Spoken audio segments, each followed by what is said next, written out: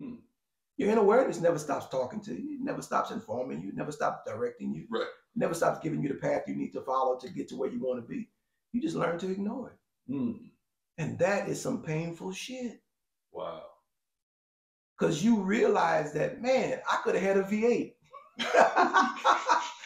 I could have I could have been enjoying this if I would have just obeyed my own innerwareness. Right. Right?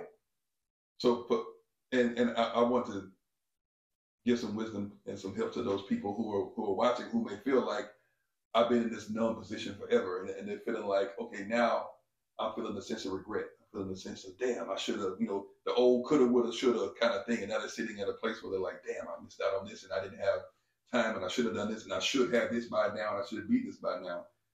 Reassure those people why, by embracing their innerwareness, everything they thought they had missed out on is still present in front of them right now. Yeah, as long as you have desire, your innerwareness is still working. And what I mean by that is desire is just a positioning indicator that there's something to put yourself in position with to enjoy. As long as you have desire, as long as that's still alive in you, you have an opportunity to enjoy your life. When you stop having desire, you got to worry about that. Mm. Because every living thing has a desire to be here. When you lose your desire, you could you could possibly be on your way out. Hmm. Now, here's what happens why a person will end up losing desire or not know what they want. Because you you're seeking validation from everybody. Hmm. You're now focused on yourself. You with yourself 24 hours a day, but you you have lost sight of yourself because you haven't been following your innerwareness. You've been following out awareness, which means you become good at knowing what the trends are in the world, but you don't know what the trend is in yourself. Ooh, that was good. You don't know what the trend. If you don't know what the trend is in yourself, you lost. Hmm.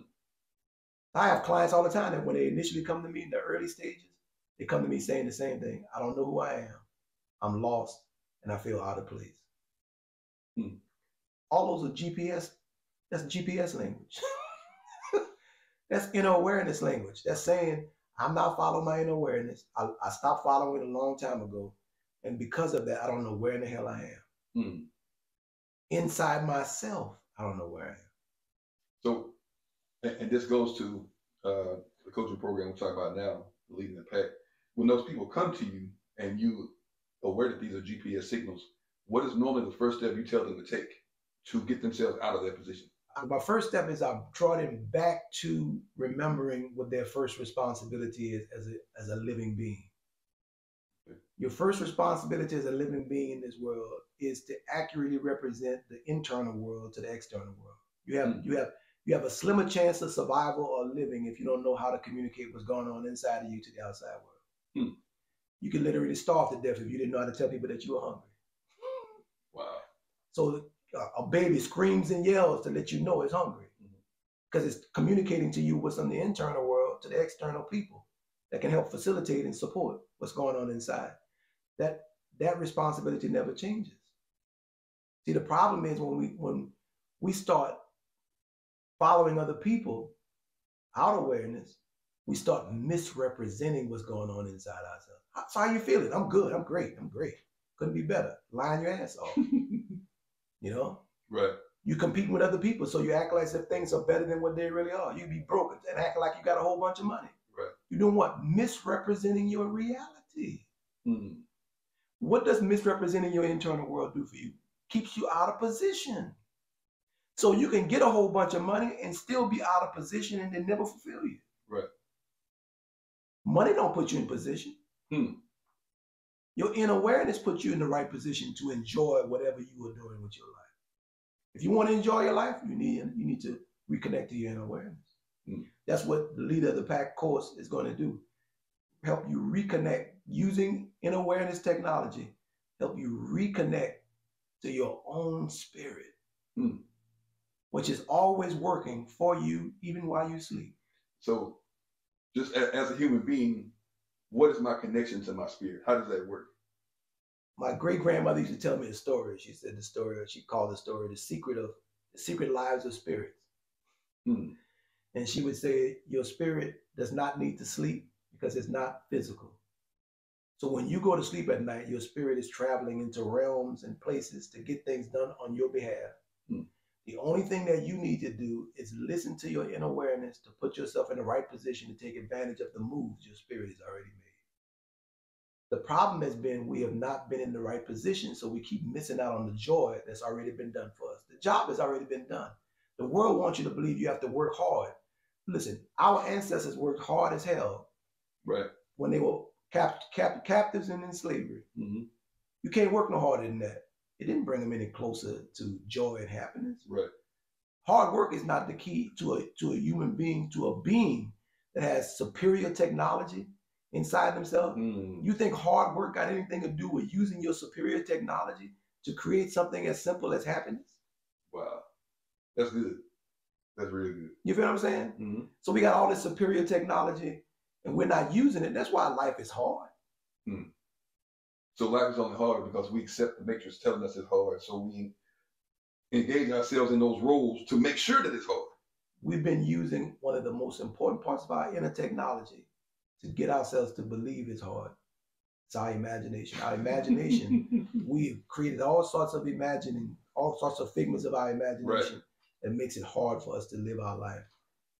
When we can create and our, use our imagination to create just an opposite story. We need to learn how to follow our innerwareness in order to re- reconnect with our path of least resistance. Speaking to the the leaders that are listening to us right now, now there's an old saying that goes, the way you can tell you're ineffective leaders, you look behind you and nobody's following. So I don't think I don't think that's the most way to tell you're ineffective leader. yeah, I was just about to ask the question: How do you define, or if uh, as a leader myself, how would I know that I'm not being effective? You don't know how to live. Okay, A leader is ineffective if- if they're not enjoying their life. okay, To be able to make a whole lot of money, that's not what's what is that? That's not but paper. In a system where things are socially constructed to make a whole bunch of money, what the hell is that? that's just transactional. But in a world where everybody's working against against the idea of happiness and joy, but a whole, you got a whole system that wants you to be a slave, achieving happiness is the greatest accomplishment. That's the Holy Grail. And that proves that you have a relationship with yourself that is so in alignment that all this outside shit can't do nothing to disrupt your peace. Wow. Now you achieve that, shit, money, money come looking for you. Because, and I believe money has a role in the universe also. Yeah, yeah, of course. It's a measurement of energy. So you become the magnet of this beautiful energy, right? hmm Whatever the whatever the currency is. Because remember, currency is not universal. Right. Every, different countries you go in, they got a different currency. That's a fact. So you so money is not a universal concept. Mm. Currency is. Ooh, that's good. When you learn how to work with your own currency, then no matter where you are, you got money. Mm. That's good stuff. Yeah. Now, I, I, I want to uh, something we talked about in the earlier segment because we have leaders listening right now, and, and I believe your definition of leadership is contrarian to a way a lot of the traditional Right. uh, institutes and courses and classes or whatever teach it. And you were specifically saying it's about leading by example specifically. Right. So I want, I want you to build out a little bit on how that your definition of leadership is different and how you employ that into your your course. Well, I say this leadership is always an example setting thing. Because people will observe what you say and then watch what you do and watch the results that you produce. And if you are not producing the results that you that you promised to produce, nobody should follow you. Straight up. Mhm. Because what it is demonstrating is that you lack clarity. Mhm. You cannot produce results that you claim to produce if you don't have clarity. So a lot of people are just repeating what they hear other leaders say to make it look like they know what they're talking about. But you have to go where your clarity is. Where does clarity naturally come from? Enlightenment is not an outside light. You don't say outside outlightment. It's In. enlightenment. Right. So where does the light come from? From your innerwareness.